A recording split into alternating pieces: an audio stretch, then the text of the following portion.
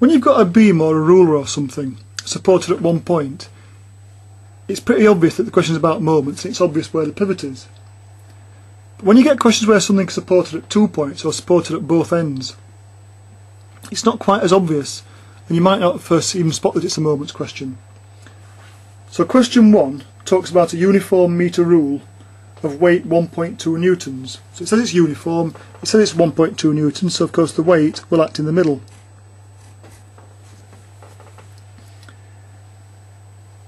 And it says it rests horizontally on two knife edges. When it says knife edge, it just means two, two points that it's supported on.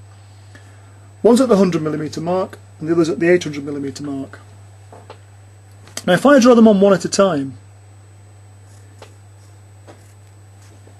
if I draw that as a knife edge that it's balanced on, then you can see how, if there were no other forces, this thing would pivot about that point, and the weight would cause it to turn clockwise. If you want to stop it turning clockwise, you've got to provide either a downward force on this side, or do just the same job by providing an upward force on this side, so that it's balanced, stays in equilibrium it doesn't turn about that pivot. Now one good way of providing an upward force on something is just to bung something underneath it. And that's what happens in this question. It's supported at the 800mm mark. Now the support might be an object, in this case it's something that calls it a knife edge, but all it's doing is providing a force. So this other support is providing the force that prevents it from turning clockwise. So it's still a moments question. It's still got a pivot there. It could turn turn about. It doesn't turn because it's being held up here by a force, and the force just happens to be provided by another support. Or we could, of course, have drawn them the other way around. We could have drawn this one first, and we could have said that the weight of the ruler is trying to make this thing turn anti-clockwise, but it doesn't turn anti-clockwise because there's a force stopping it, and the, the force that stops it turning anti-clockwise about this pivot is the force that's provided, the upward support provided here. Right, so it is still a moments question. It is still about things having a tendency to turn either clockwise or anti-clockwise. But if the thing's in equilibrium, the moment's balance, it doesn't turn. And since it doesn't turn about either pivot, it doesn't matter which pivot you use when you're trying to work out the moment. So the question asks us to find, first of all it asks us to sketch the arrangement. So we've got the arrangement there. I've drawn those two supports as little arrows, but we know that what those little arrows are doing, those knife edges, they're providing forces upwards. So it makes sense to draw it as a force. So we've got 1.2 newtons acting down, and we've got two forces acting upwards. I could call the forces F1 and F2 if I wanted. Because I'm going to be taking moments, and I'm going to be using the places where these knife edges are to take moments about, it's a lot easier if I give those places names. So I can call that place there A and that place there B.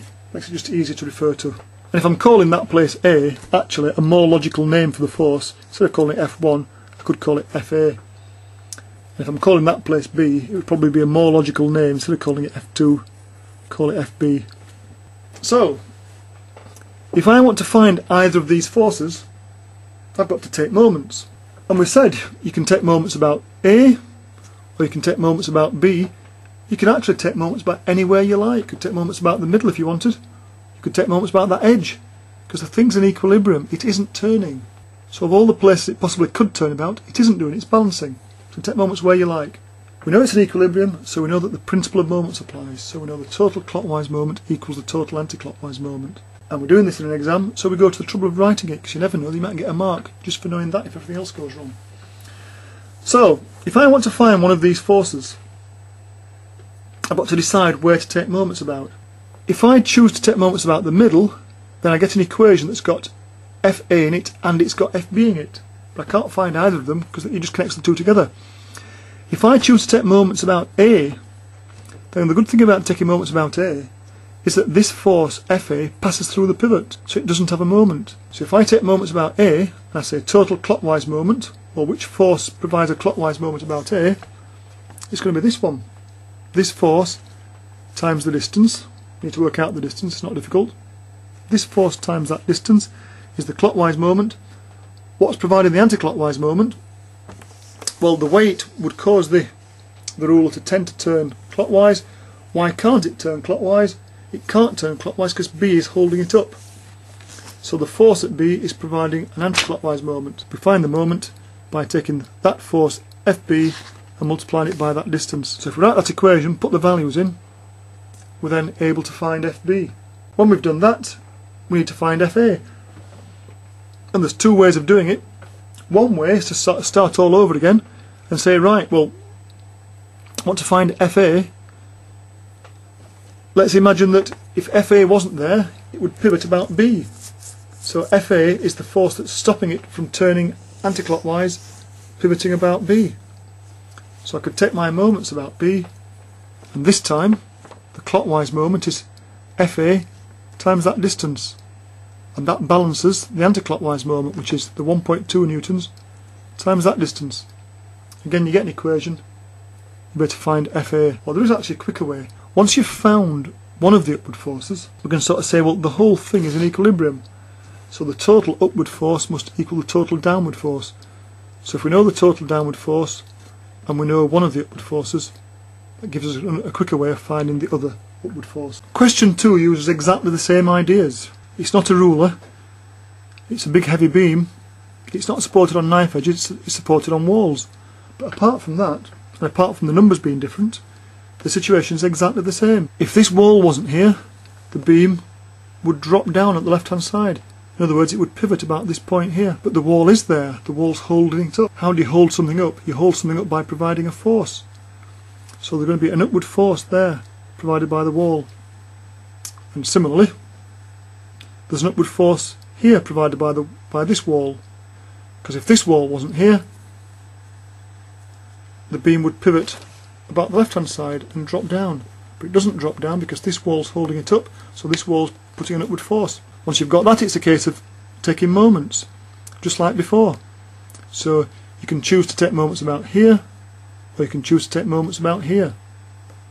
Doesn't matter which one you do. If you take moments about here that lets you find the force that acts here. Or if you choose to take moments about here that lets you take that lets you find the force that acts upwards there. There's a little sort of sting in the tail for this one though. Part A you've calculated the support force of each wall on the beam so each wall is providing an upward force on the beam stopping the beam from falling down part B how do you find the force of the beam on each wall At first glance you might think that's a completely new question that you've got to start working out. But actually, if you know the force that the wall puts on the beam at this point, it's very straightforward to remember a quick and easy rule that lets you straight away find the force that the beam must put on the wall.